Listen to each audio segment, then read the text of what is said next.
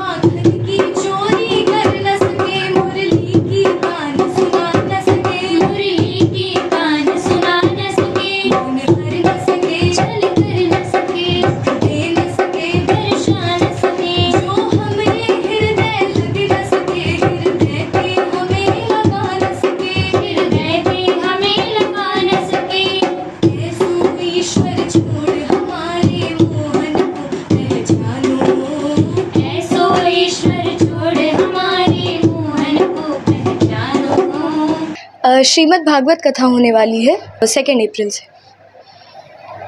आपको भागवत कथा का वाचन करती हैं।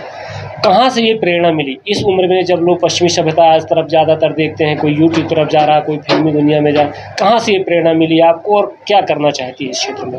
देखिए पहले से कोई डिसाइडेड नहीं था कि भागवत कथा का वाचन होगा। बिल्कुल कोई प्लानिंग नहीं थी, ना किसी ने सोचा था। मेरा पहले से एम डिसाइडेड था आईएफएस होगा, क्योंकि भगवत गीता में कृष्ण जी ने कर्मों को मेन फोकस दिया। और ऐसे कर्मों को जिनसे दूसरों का भी भला हो, सिर्फ़ अपने लिए मत रहो, दूसरों के लिए भी रहो, वरना केवल अपने लिए रहोगे, तुम में पशु में फ़र्क क्या है?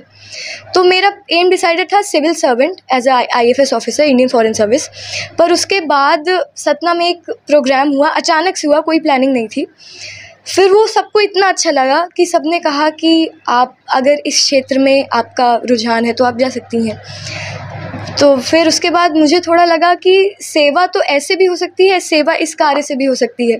फ़र्क बस इतना है, उसमें हम फिज़िकली सेवा करेंगे और ऐसे मन की सेवा हो सकती है, जो मन के जितने डाउट्स होते हैं लोगों के। इतना परे, परेशानियाँ हैं आजकल, सब परेशान है स्ट्रेस इतना बढ़ गया है। तो ऐसी कुछ बातें कह के जो स्ट्रेस रिलीविंग हो, सुनने में अच्छी लगे, ये भी सेवा ही एक तरह से हुई। तो मैंने फिर सोचा कि ये भी अच्छा क्षेत्र है एज अ प्रोफेशन अनुभूति ये होती है कि सामने कोई नहीं है, सिर्फ़ कृष्ण जी है और मैं हूँ। मैं उन्हीं से उनकी बातें कर रही हूँ। देखिए, भागवत मतलब होता है कि हम भगवान के बारे में बताकर, उनका जो बिहेवियर है, क्या सोचते हैं, क्या करते हैं, स्वभाव कैसा है, ये सब बताकर हम सुनने वाले को भगवान से प्रेम करा दें। मेन लक्ष्य ये होता है जैसे लोग कहते हैं कि भागवत मृत्यु का डर खत्म करती है।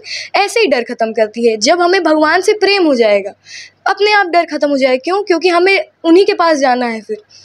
और भगवान कृष्ण के बारे में जो एक बार जान लेता है, अच्छे से जान लेता है, वो फिर उन्हीं में, कह लीजिए उनकी लीला ऐसी होती है कि वो फिर उसके अलावा और कुछ उसे अच्छा ही नहीं लगता। देखिए, ज्ञान तो असीमित है। वो तो जितना पढ़ोगे, उतना अच्छा है। जितने नई नई ग्रंथ आएँगे, सबको पढ़ना चाहिए।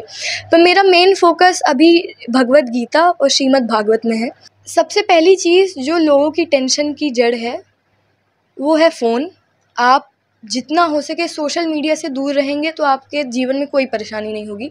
क्योंकि I am in within that age group तो मैंने अपने दोस्तों को देखा है, वो सब सिर्फ़ सोशल मीडिया के कारण बहुत अच्छे अच्छे लोग, जो पढ़ाई में बहुत अच्छे थे, अब उन, वो उतने अच्छे नहीं रहे। तो आप जितना हो सके इस फ़ोन से थोड़ी दूरी बना के रखें। मैं ये नहीं कहती कि फ़ोन छोड़ दें, आप चाहें तो बहुत अच्छा सदुपयोग भी हो सकता है, क्योंकि आजकल क्या है जो फ़ोन में नहीं मिलता? उससे बहुत अच्छी राह भी हो सकती है, पर राह बिगड़ भी सकती है। ये सेंस ऑफ़ मोरालिटी इंसान में होनी चाहिए, जो यूज़ कर रहा है। तो उससे यही प्रार्थना रहेगी कि आप मैं तो अ, माता पिता लोग से कहती हूँ कि आप बचपन में बच्चे को श्री कृष्ण से जोड़ दीजिए। उनके बहुत सारे कार्टून्स वगैरह हैं उनकी मूवीज़ हैं वो किसी तरह उन उनके टच में रहेंगे तो अपने आप सही रास्ते पे जा- मेरे बारे में मुझसे ज़्यादा अच्छे से वो जानते हैं। मेरे लिए क्या सही है ये मुझसे ज़्यादा अच्छे से वो जानते हैं। ये विश्वास जिसके मन में होता है भगवान उसकी रक्षा करते हैं। I am saying this as per my personal experience